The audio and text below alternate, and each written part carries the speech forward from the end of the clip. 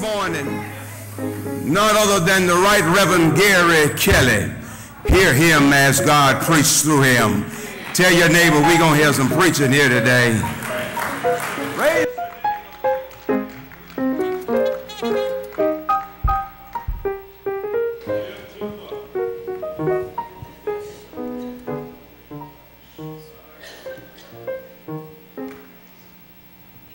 Morning, Pleasant Grove. First, I would like to uh, thank God for giving me this preach opportunity. And I also want to thank my pastor for his guidance, for his correction. I really appreciate it. And I would like to thank my preach brethren for all their support, their encouraging words, all the other officers of the church, and you, the church body, thank you. We have a word today that's going to come from the 15th chapter of John, verse 26 and 27, and you can remain seated. It says, But when the Comforter is come, whom I will send unto you from the Father, even the Spirit of truth, which proceedeth from the Father, he shall testify of me. And ye also shall bear witness, because ye have been with me from the beginning. Let's bow for a word of prayer. Holy and gracious Father, we come once again just thanking you for another opportunity to be in the house of the Lord. We come now acknowledging your power and your glory in our lives. We come now just thanking you, dear Heavenly Father, for this day. I thank you for this preach opportunity, Father. I ask, dear Heavenly Father, that you touch me in my spirit, dear Heavenly Father. Allow me to say the words that are pleasing in your sight. Lift me up, dear Heavenly Father, so that that word, dear Heavenly Father, that's in me, dear Heavenly Father, that come flowing out. I just thank you, God, for all that you do for me. For you keep me, dear Heavenly Father, when I couldn't keep myself, keep myself. I just thank you, God, for all that you do. I ask, dear Heavenly Father, that you decrease Gary, dear Heavenly Father, that you may be lifted up. I just ask, dear Heavenly Father, that you touch the hearts and minds of those that are here today and every church that is open in your name. I just thank you for all that you do. These and so many other blessings I ask in your darling son Jesus' name. Amen. I want to start off by telling a little story. It goes like this it says, A trucker used to amuse himself by running over lawyers he would see walking on the side of the road. Every time he would see a lawyer walking down the street, he'll swerve and hit him. After hearing a loud thud, he'll swerve right back onto the road as if nothing happened. But one day, the truck driver was driving alone and he saw a priest hitchhiking. So he stopped and he asked, Where are you going, Father? The, preacher, the priest replied, Five miles down the road to the church. No problem, says the trucker. Climb on in, I'll give you a lift. So the happy priest climbs into the passenger seat of the truck, and the truck driver continued driving down the road. Suddenly, he spotted a lawyer walking on the side of the road, and instinctively, he swerved to hit him. But then at the last minute, he remembered there's a priest in the truck with him. So he swerved and missed him. But he still heard a loud thud. Not understanding where the noise came from, he glances in his mirrors, but he doesn't see anything. So he turns to the priest and he says, Forgive me, Father. I guess I must have hit that lawyer. You missed him, replied the priest, but that's okay. I got him with the door.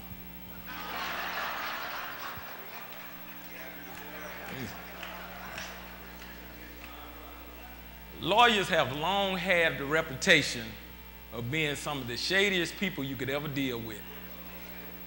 And I'm quite sure that's not all lawyers. You know, you have your good and you have your bad and everything. But what, I, what I have learned from watching the first 48, if you get yourself in trouble, you might need to get you a good one. But today in my sermon, I want to talk about that good lawyer, that advocate, Jesus Christ, the one that we can call on in times of trouble. When I look at my, when we look at look at this, uh, the chapters preceding my text, in chapter 13, 14, and 15, this is Jesus Christ. He's he's told the disciples that you know his time is is come near, and you know he's going to have to lead them. He's told Judas you know, you can go because I know what you're going to do. He's told Peter, You're going to deny me three times. And the disciples, you know, they're sad right now. They're probably afraid, not really knowing what's going to happen in the future. So Jesus in chapters 14, 14 and 15 gives so many encouraging words to help them deal with, what, with what's going to come. And we can use those same scriptures to encourage ourselves and others when times seem to be rough. I wrote down a few of them that kind of just give you a gist of how much Jesus was thinking about his disciples during this time. And like I said, we can use these same scriptures when we're going through the things that we may be dealing with in life. It says that, let not your heart be troubled. Ye believe in God, believe in me also. In my Father's house there are many mansions. If it were not so, I would not have told you. I go to prepare a place for you. And if I go and prepare a place for you, I will come again and receive you unto myself, that where I am, ye may be also.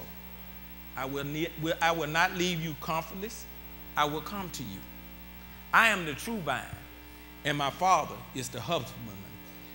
I am the vine, ye are the branches.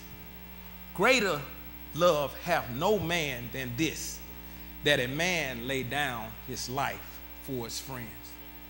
All these scriptures and many more in chapter 14 and 15 were to comfort and encourage the disciples during this troubling time. In my text, like I said, Jesus has just revealed that, you know, his, his time is coming near. And, and at one point, you know, all the focus of the hate was right toward Jesus. But pretty soon, it was going to be on the disciples. And they're going to need to know how to deal with this situation. So in the scripture, Jesus is letting them know, I'm not going to leave you alone. I'm going to send you a comforter. And that comforter resides in each and every one of us that who has given our life to Christ. And you know, I, I, love to watch, you know, um, you know, shows about law. I like Law and Order. I like all the judge shows. I like Suits. That's a great suit. I, I believe Pastor probably love that if you ever watch it because they have the nicest suits I ever seen. but but but in those in those shows, it's a thing that that the prosecutors and the police really never like to hear a suspect say. I'm not saying anything until I speak to my attorney. Yeah, yeah. And you know, I watched First 48, and, and time and time again, I was like, why in the world he won't ask for a lawyer? Clearly, he's bright as a brick, then got himself in a whole lot of trouble, and yet and still he think he can talk himself out of the situation on his own. And then I thought about it. You know what? I'm that way a lot.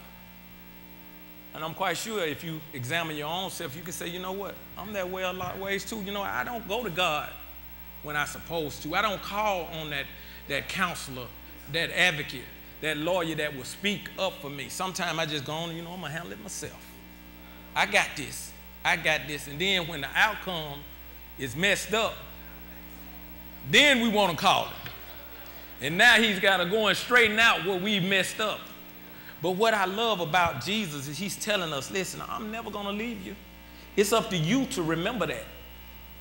And like I said, life comes at you real fast, real hard.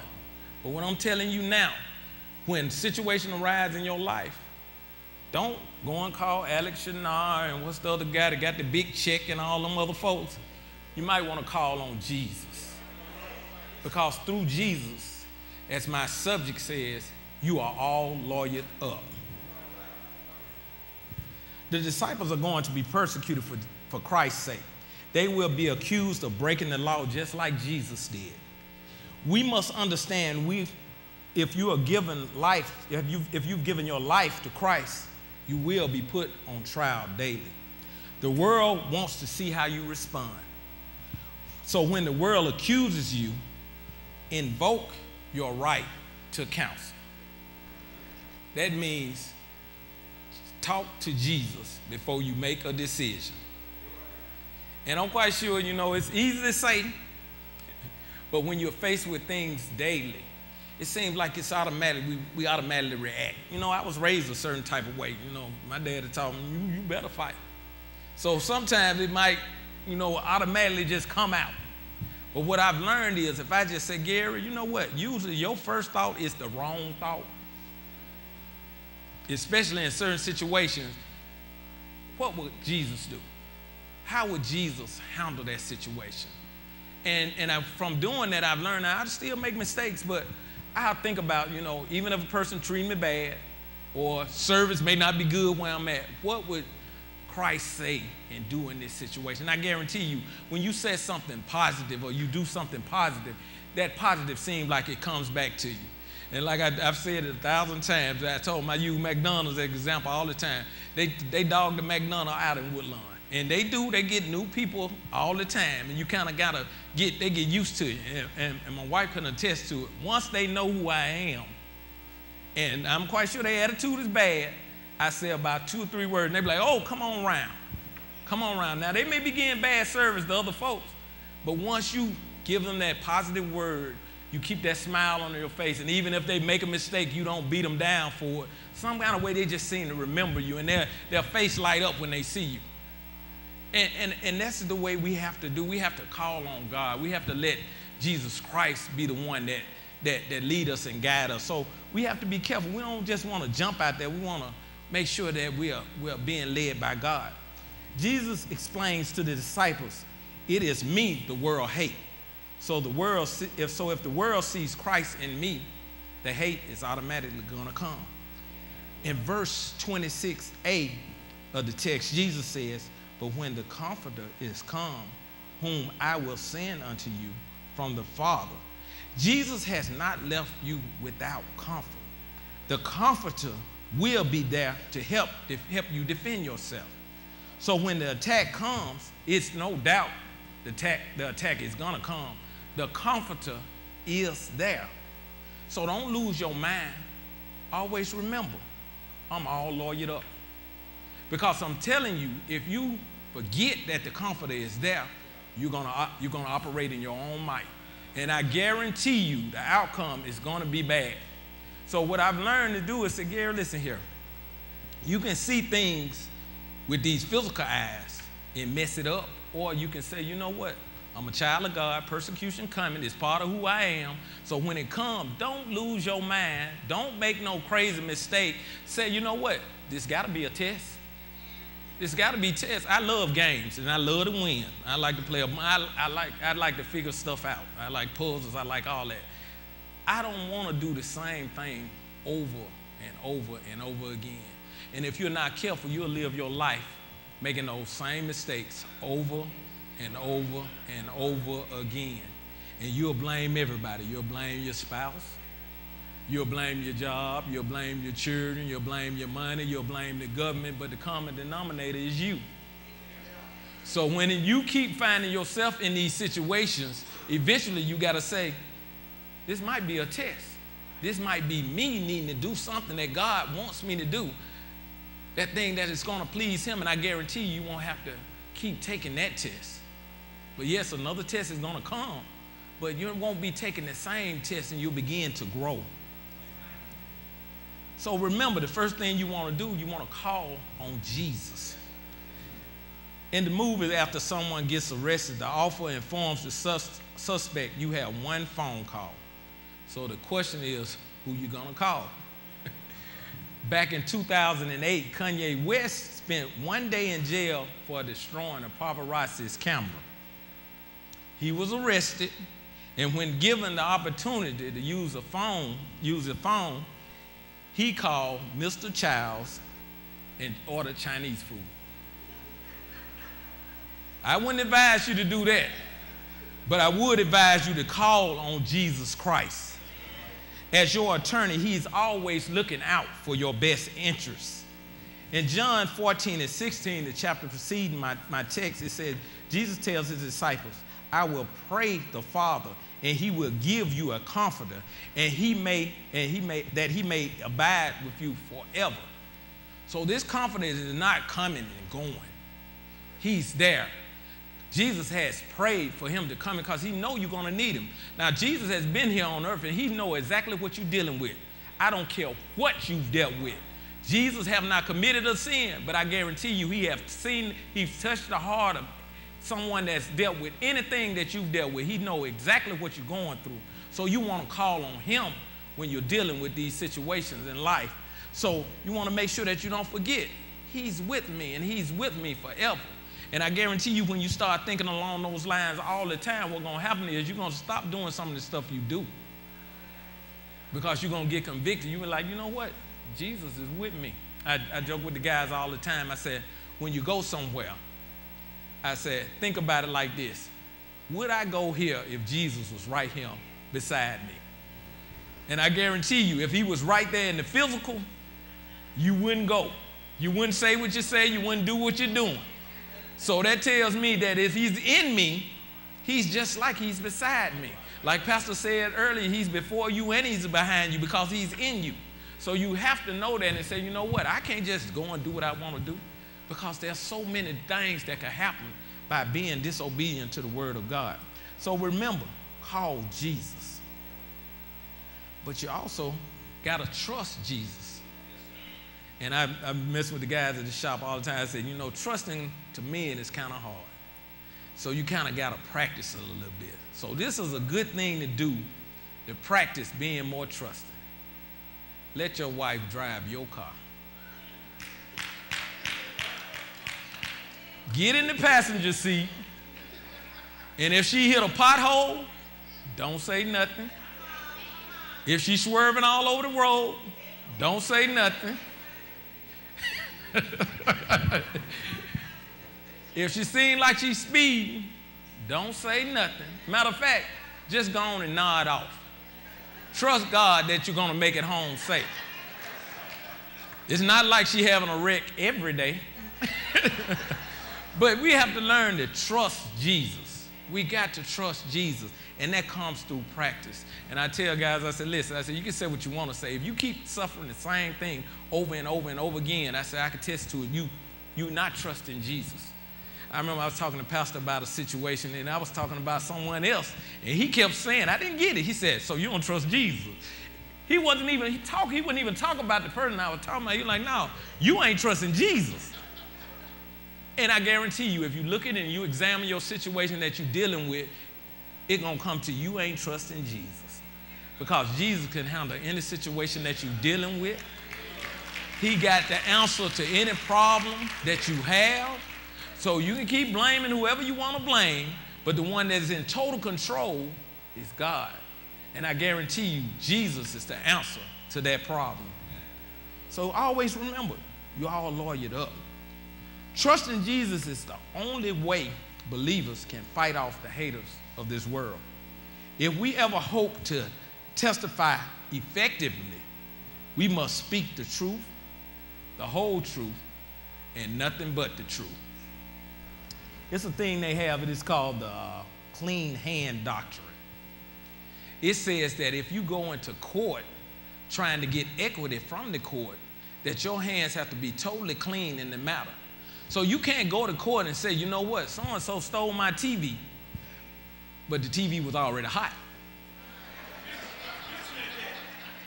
So when you go and you want to tell God, you know what, so and so did me this way, and they did me this way. You can't have dirty hands in that situation because God said, yeah, and you did them this way. So what, what you want to do is, is if a situation arises in your life, something going on, you want to do that thing that's going to be pleasing to God. And it's got to be pleasing to God from the beginning to the end. And I know it's hard because, you know, we, we, we in this body, we're in this physical body, and, and we're going to make mistakes. But I know this much. If you do those things that are pleasing to God, I guarantee you the outcome is going to be better. It may not be the outcome exactly that you want, but it's going to be the outcome that God needs for that situation. And, and, and that's what it's all about because, like we say all the time, it's your will, God, not my will. You can say it, but do you believe it? Because if you believe it, guess what you're going to say? I'm not going to fly off the handle just because God, God wants me to handle this a certain type of way. Because, like I told him, I said, listen, we are all here together for a reason. We can encourage each other or we can wind up hurting each other. Why not do something that's going to lift someone's spirit or help someone than hurt them? So we can get caught up in ourselves and say, you know what, they did me wrong. And they did. But guess what? God still got me anyway. But I know Even when people do me wrong, God always does me right. And even if they do me wrong, God makes it all right with the way He feels and treats me. So I say, you know what? I'm going to keep pushing on. I'm going to keep pushing on. And I guarantee you, once you do that, that person that used to bother you all the time, it just seems like they don't want to bother you no more. And yeah, and if they do, you're going to just smile and say, you know what? It is what it is. But we have to remember that, listen, that we are all lawyered up. We don't have to continue to fight and struggle. The truth has a strange way of revealing itself. Jesus tells us that even the spirit of truth which proceeded from the Father. The spirit of truth proceeded from the Father. I didn't make the truth. You didn't make the truth. God said what was the truth. So I need to say what God said. And what I've learned is when you try to fight against the truth, oh, you got a battle on your hand. You got a battle on your hand. And it's something, I, am talking, I love Judge Judy. Judge Judy said this all the time. When you're telling a lie, you got to prop it up with a lie. And then you got to remember all the lies that are attached to it. But when you tell the truth, it seems like everything kind of go together. You don't even have to have a good memory when you tell the truth. But I guarantee you, when you tell a lie, that's why you be talking to your children, you be sitting there, and the more they talk, your head start turning, twisting. What do you? Because you know when they lying. But guess what? God treats us the same way. Like, I know you're lying. Boy, I knew you were going to lie a thousand years ago. you're going to lie. So we have to say that, listen, that, that, that, that I need to tell the truth, the whole truth, and nothing but the truth in the situations I'm dealing with in my life. That means that you got to talk to people about the issues that they're dealing with. You can't just tell folks anything. You can't tell them anything. You can't tell them go and knock their heads off. I hear people all the time giving advice about situation they only hear one side of the story. I said, you better stop doing that. I said, you only heard one side of that story. You gave an opinion. We was in the shop. The guy just telling him what the guy what he need to do. I said, first of all, you hadn't heard his wife's side of that story. And I advise you not to give him, him any more advice as if you know everything that went on. If you can't say something that's going to help both of them, you need to be quiet. Because, because the truth is about the truth. It's not about you. It's not about our emotions. It's about the truth. We're all lawyered up through the truth. The truth, according to the word of God, is proof of our innocence. Christ's blood makes us innocent. His blood makes us innocent. Nothing we did, nothing we deserve. It's just simply him, us accepting him that has made us justified. So we're innocent through the blood of Christ. So how do we expect to treat people any kind of way and then still remain innocent? I'm About how, how do we think that we're going to just treat people any kind of way and remain innocent? What I learned is we got this physical body, yeah, yeah, and the physical body can be fine. I'm seem, seemingly to be fine, but we have a spiritual body also. We have a spirit that dwells within us. We can't do anything and then think our spirit gonna be all right. Cause folks, is, they'll try to convince you, oh yeah, everything good in my life. You know they cheating, you know they stealing, you know they lying, you know they acting crazy. And you say, no, it's no way possible. I said, because my innocence, my righteousness has to be, I have to work through that in order for me to be okay on the inside. I'm more concerned about being okay on the inside.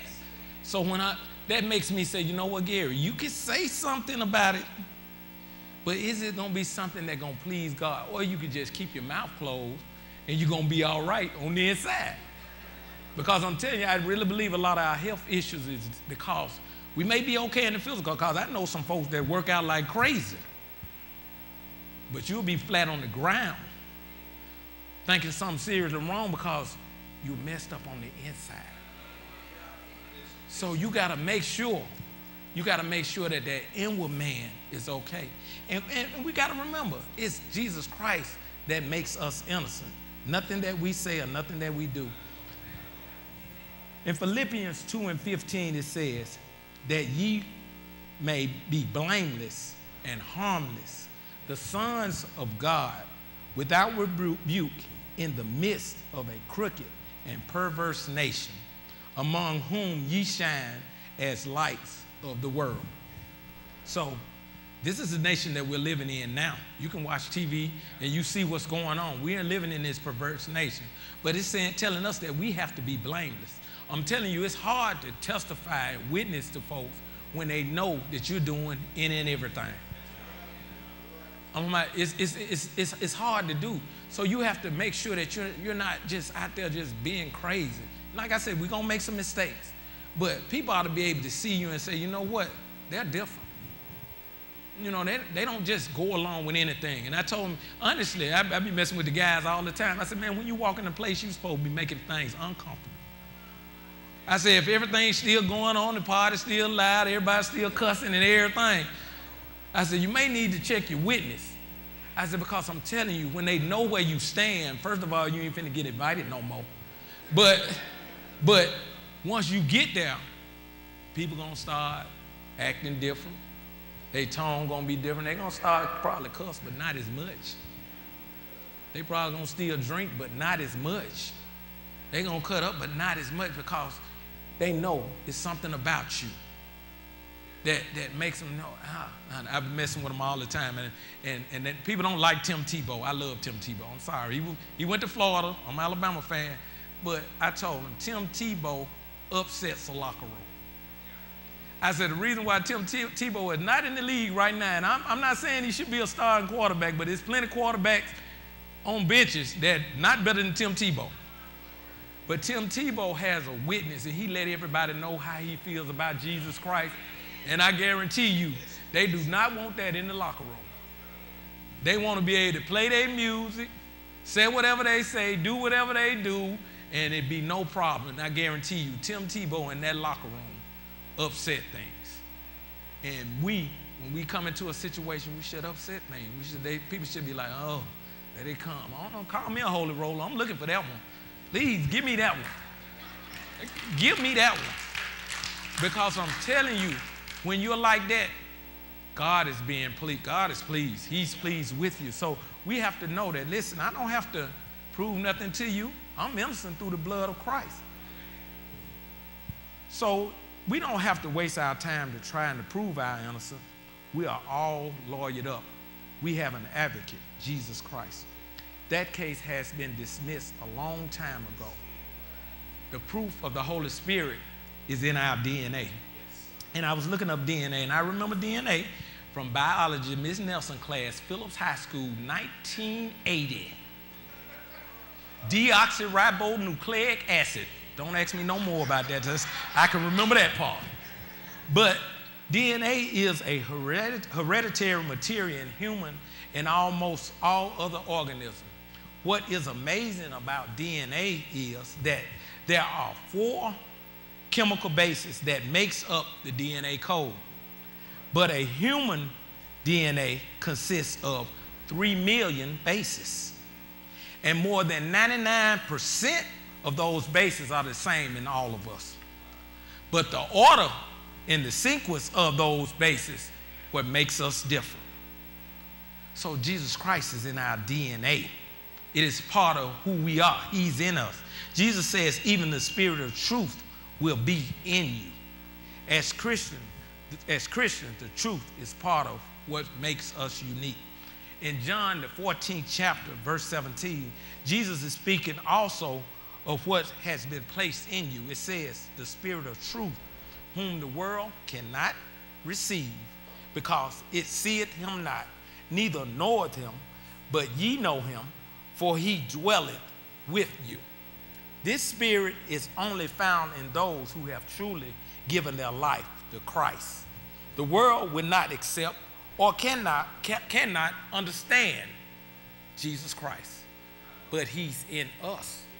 So if the world have any hope of coming to know Jesus Christ, we should be the example that they can look at because he's in us. It's part of who we are. He's part of our DNA. We can't deny him no matter what we want to do. Denying Jesus Christ is simply making yourself sick. Denying the presence of Jesus Christ in you will make you sick. So why say, you know what? Why not say, you know what? This is who I am. This is part of who I, I am. You know, persecution gonna come. Like he was telling the disciples, listen, this is gonna happen.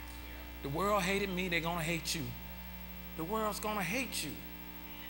That's what's supposed to happen. You know, after the Beatitudes, Jesus tells us persecution is part of who you are. They judge me and they're going to judge you. So why is it such a big surprise that people are judging you? Why is it such a big surprise that people are persecuting you? Yeah, it hurts. Yeah, it hurts.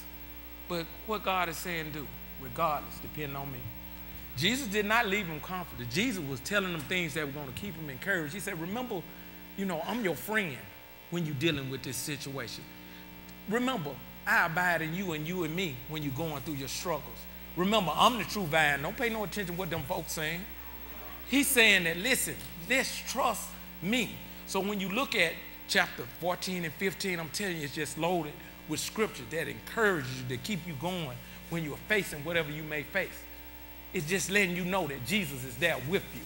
You're not alone. So don't live your life as if you got to do this thing on your own. You got to say, you know what? Oh, I got Christ in me. And I guarantee you, the more you do it, the easier it becomes. The less you do it, the more you're going to struggle. We're getting older and older. It should be easier and easier for us to do. Amen. We have the proof of the truth. And the proof is that it proceeded from the Father. He testified of me. So the truth is coming from God. The truth is coming from God. It's not coming from the Holy Spirit. It's coming from God. Holy Spirit is just telling us what God has told him. We have to remember that God is all truth. God is all good. It's no evil, no nothing in God. So why not follow him? The truth is proceeding from him. So that is what we need to be going toward. That's what we need to be dependent on. His truth, not our truth. Like I said, you can do things in your own might. And I've learned it might seem like they are right. But if it's not lining up with God's word, it's gonna be a problem. It's gonna be, it's gonna be a serious problem. But what that scripture tells me also, it tells me that, you know, I've been sealed. God marked us when we gave our life to him. We're marked. And I'm telling you, you can deny it. You can act like you haven't been marked. You can act like you ain't been sealed to the day of redemption. All it's going to do is have you suffering. It's, it's going to have you struggling. So I understand that I'm marked. So that means that I can't just do whatever I want to do. I got to do those things that are pleasing to God. And when I do those things that are pleasing to God, guess what? Everything around me is going to be kind of okay. We got to be careful. We're responsible for each other. Um, it's a pitcher named Dave Boswell. He's a, he's a former teammate of Reggie Jackson. he tells a story of how when Reggie Jackson was with the Baltimore Orioles, Earl Weaver, the manager, had a rule that you did not steal a base unless I gave you the signal. And Reggie Jackson didn't like this. Because Reggie felt, you know what, I know pitchers and catchers well enough to steal a base. So the next chance he got, Reggie was on first base, he took off a second, stole, stole second base with no problem, stood up, brushed himself off, looked over at the manager and said, you know what, that vindicated me. I told you I could steal a base. Later on, Earl Weaver pulled Reggie Jackson to the side and he said, this is the reason why I didn't want you to steal that base. He said, because once you stole second base, first base was open. Our next stronger hitter, which was Lee Mays, automatically got walked because you left first base open. So that took the bat out of his hand. And then furthermore, the next guy up after Lee Mays, guess what? He wasn't strong against that pitcher. So now Earl Weaver got to go to his bench and get a pinch hitter. And that wind up weakening his bench for later on the game when he really needed it. See, Reggie Jackson only saw his own personal. And Earl Weaver saw the whole picture. And that's exactly what we do when we decide that we're going to do things on our own. We only take into account how it's going to affect us instead of how it's going to affect everybody else. Because if we really thought about how it's going to affect everybody and everything around us, we would have less murder, we would have less stealing, fighting, divorce, and uh, anything else that takes just you into account. So that's what God, when we deal in the spirit of the truth, if we if we do things that God tells us to do, guess what happens? He takes in all that all that into consideration. That's why we don't know the whole story. We don't know. We was talking. Um, I was talking um, yesterday about the uh, situation situation in uh, Ferguson, and and I said, man, I said everybody involved. They didn't know what what that could cause from the time the guy left the store. I said, started off with one bad decision, it'll ripple to another bad decision, and it started involving all these people. And if just the first person would have did what he's supposed to did right, none of the rest of it probably would have ever happened. But that's what happens when we don't take in consideration that guess what? What I say and do affect everybody. Uh, my brother Dale was talking to a guy at the shop, and and and Dale was telling him about a story where he had um he had a he had a guy that he stayed in the neighborhood with that were outside smoking with his friends, and he had his newborn son in his hand with him. And, and Dale said, I started to say something to him right then, but then I said, no, nah, I'm gonna wait till he by himself because he got his boys around him. You know, I want to feel embarrassed that. So another guy that was in the shop and he kind of like dogmatic, he said, no, nah, you should have said something to him right then. He ain't got no business with smoking around that child. Dale said, yeah, but you know, that problem wasn't the right time. He was around his friend. And, and he said, he said, you should have said something then. I said, I said, what if he would have said something then? He said, hey, hey, uh, that ain't none of your business. Mind your own business. The guy that was saying that Dale should have said something got infuriated. He said, oh, oh, I'd went off on him. I said, so you gonna went off on him? I said, what if he would have went back off on you? He said, oh, you know me, I'm ready. I said, so you gonna kill him? I said, you ready to kill him? Oh, he was ready. He said, oh, whatever you want to do. I said, oh, so you gonna kill him. Now the whole purpose was that his son be okay.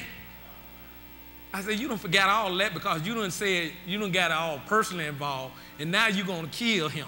You done took, you done took his son father away from him.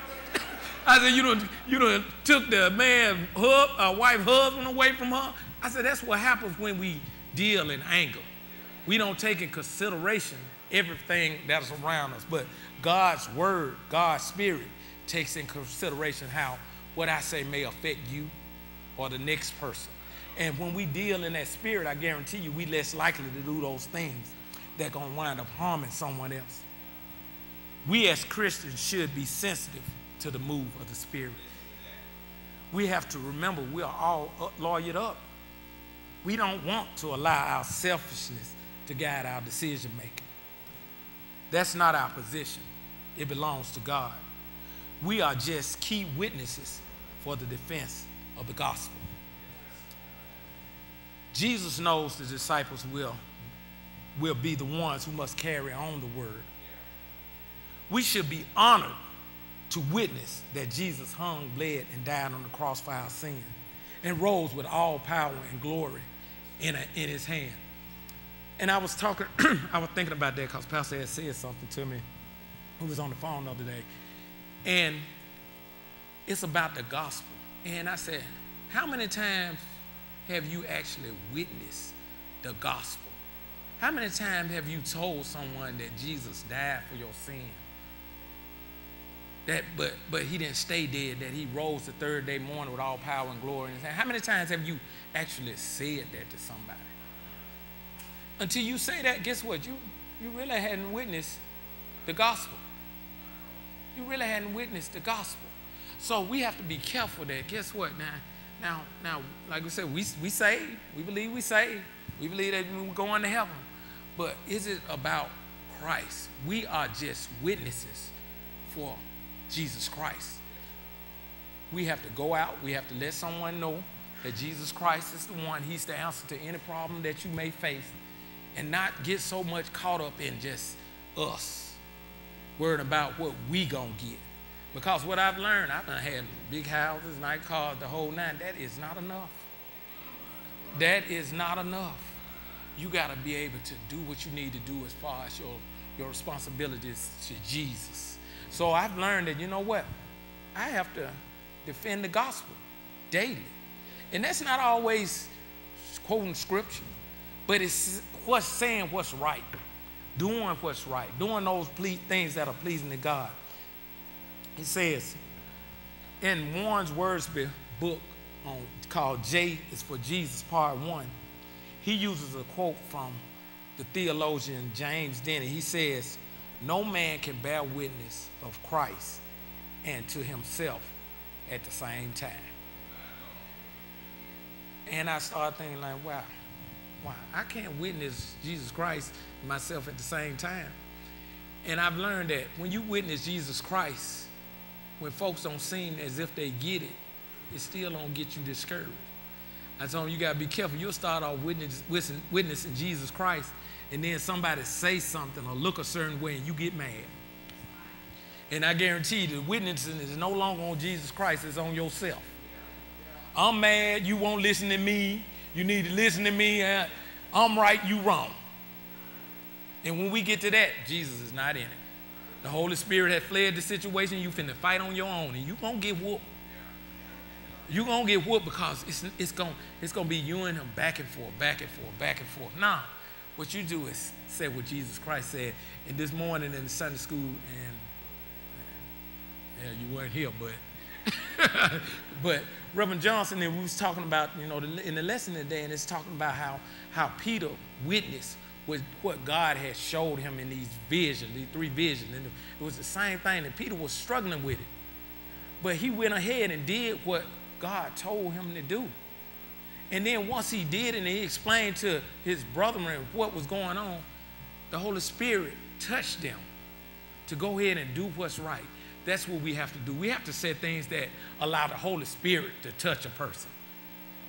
Not always, I'm telling you, people can know you right and that and that devil in them want you to act up.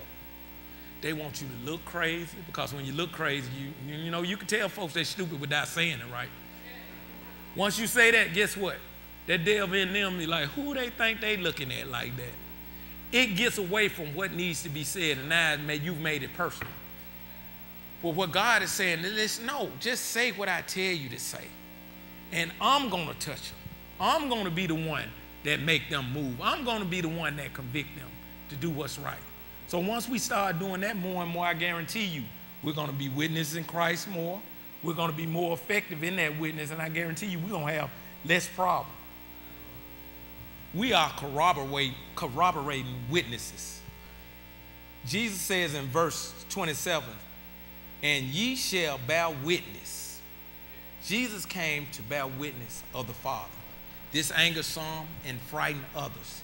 He spoke in a way that they had never heard with power and authority. He wants us to testify with that same power and authority.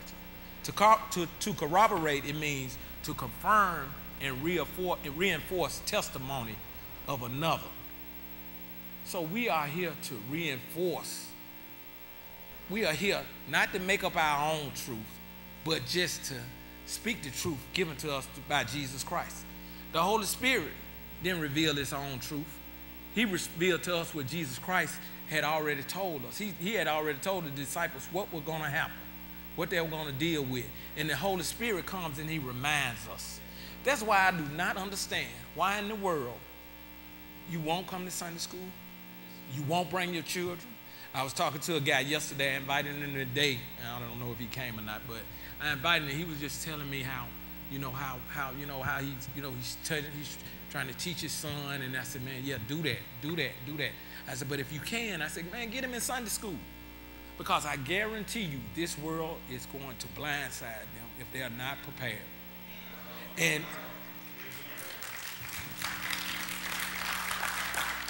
you might not think that those stories about Moses, Noah, and Joseph is going to help them, but I guarantee you.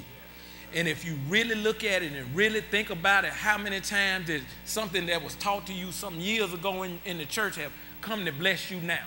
But if that has not been placed into that child, I guarantee you this world have something that will send him for a loop. So we have to say, you know what? We have to get our children educated in this word. They have to hear this word. So don't be lazy about it. Like the pastor said, you're going to get up and you're going to make it to work on time. Yeah. You're going to make it to that movie on time. You're going to make it to that football, on, football game on time. And if it's at home, you're going to be at home early enough to catch it at the beginning. So why not give your children an opportunity to get this word of God. And don't be lazy with it. And don't act as if it's a bother for you to come to do it.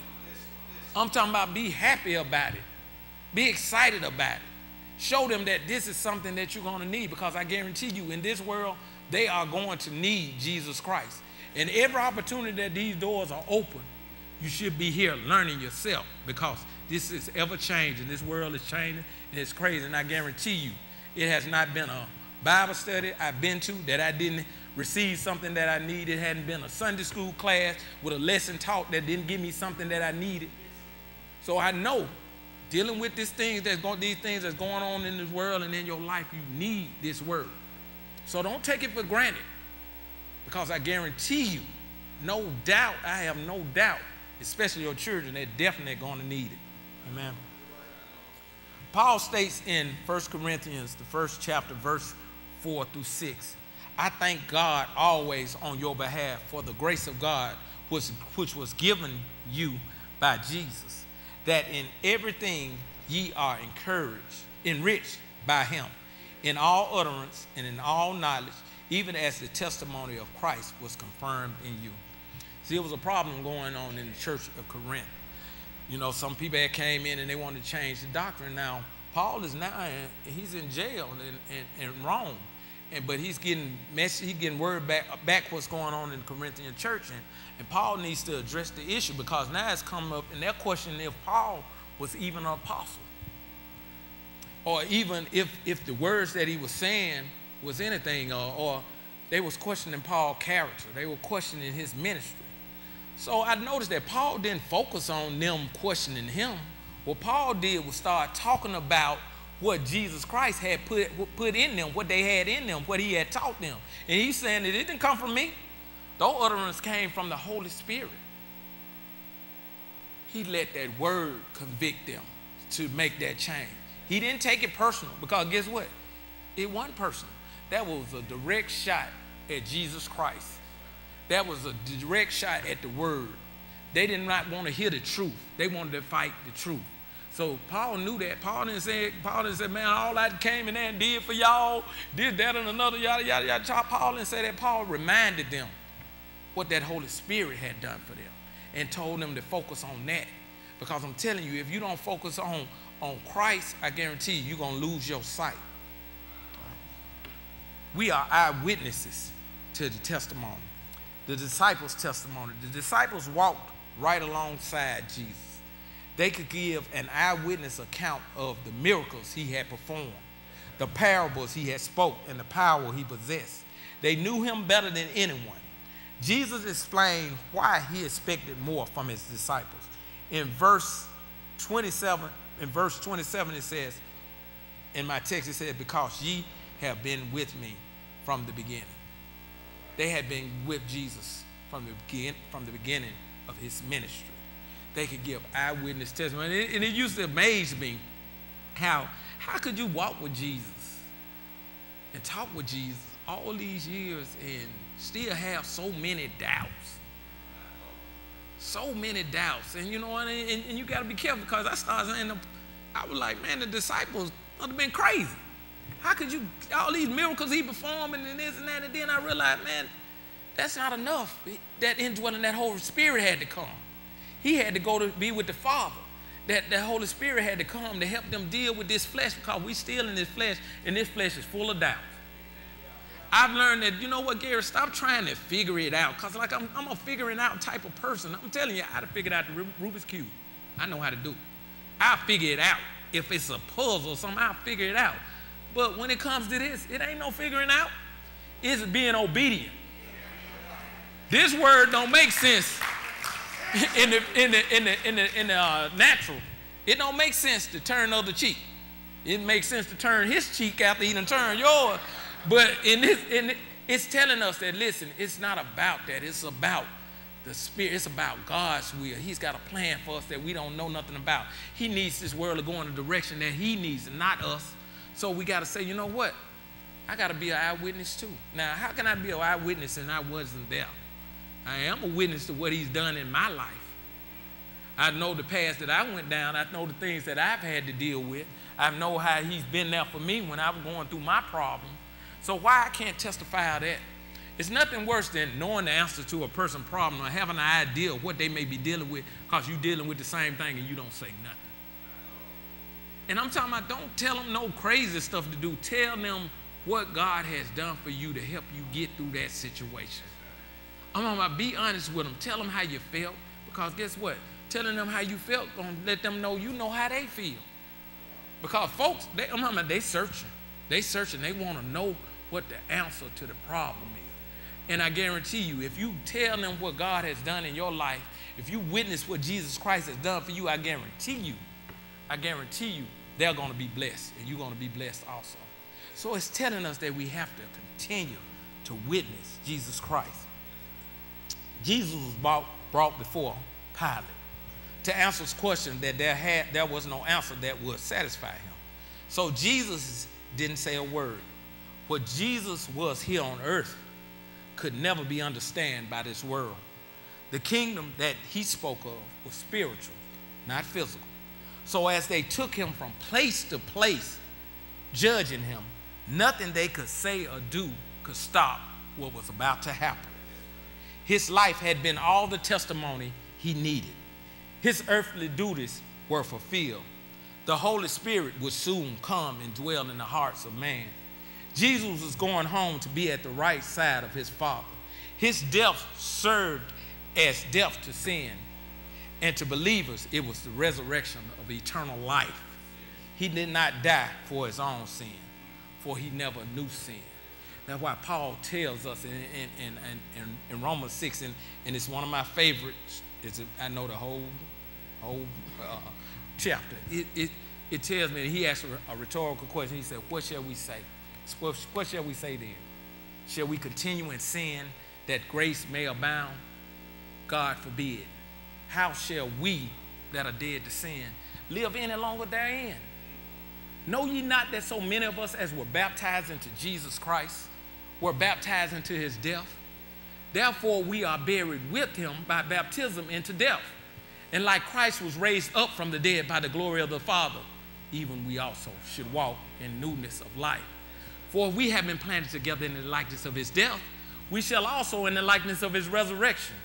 Knowing this, that our old man is crucified with him, that the body of sin might be destroyed, that henceforth we should not serve sin, for he that is dead is freed from sin. Now, if we be dead with Christ, we believe we shall also live with him. Knowing that Christ being raised from the dead dieth no more, death have no more dominion over him. For in that he died, he died unto sin once. And in that he liveth, he liveth unto God. So likewise, reckon yourselves to be dead indeed unto sin, but alive unto Jesus Christ, our Lord.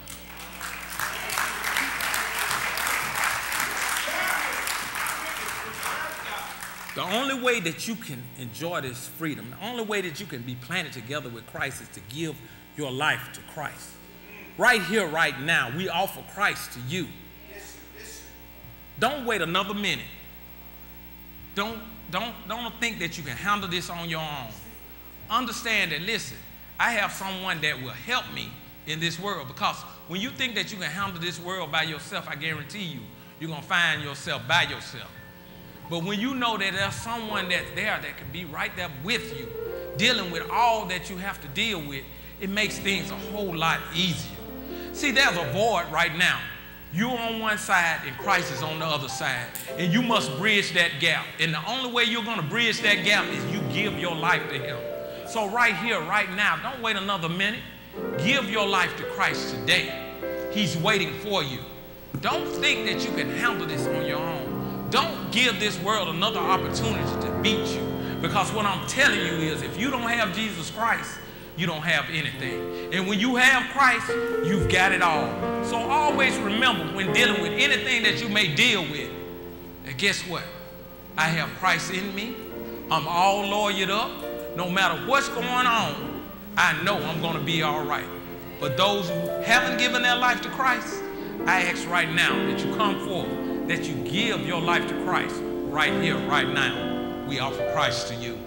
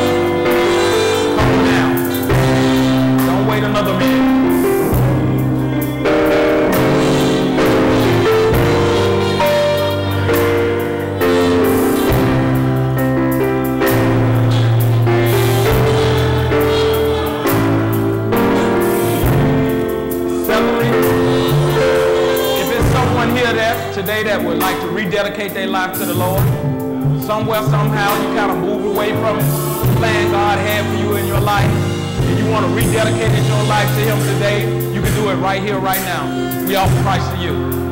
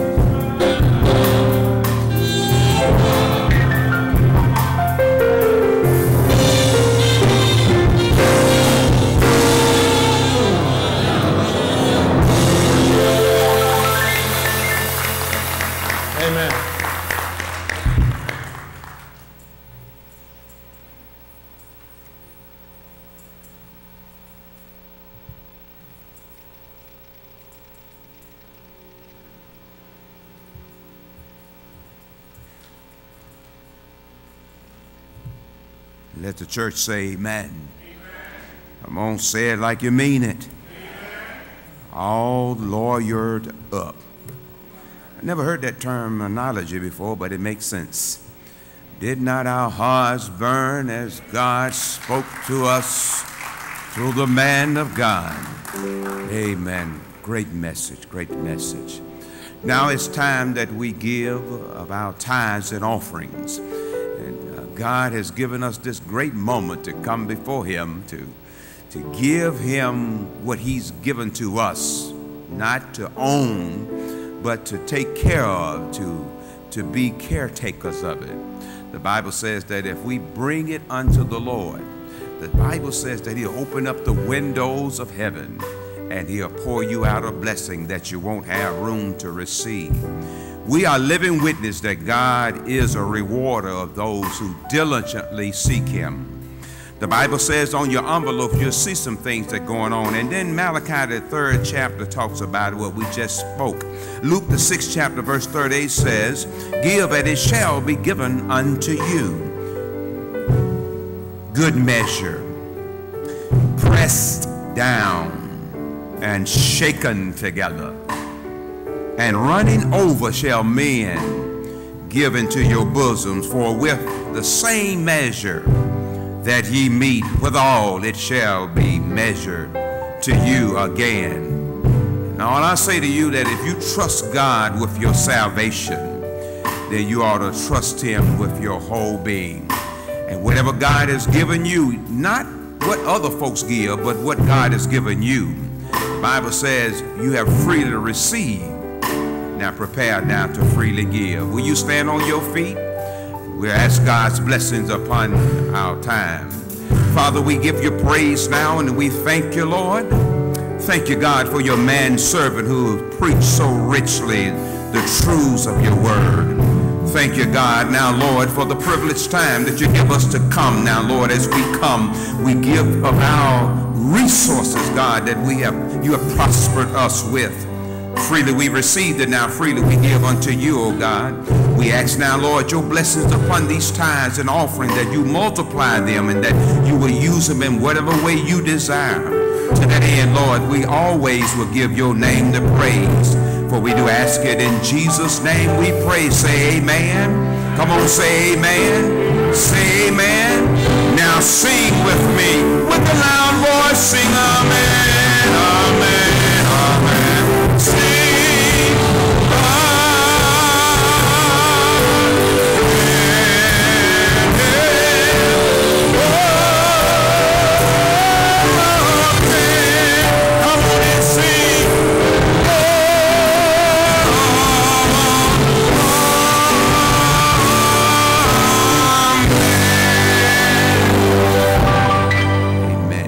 seated. We're still in worship, for we worship Him with our tithes and offering. All brother preachers and brother deacons, will you bring ye the tithe?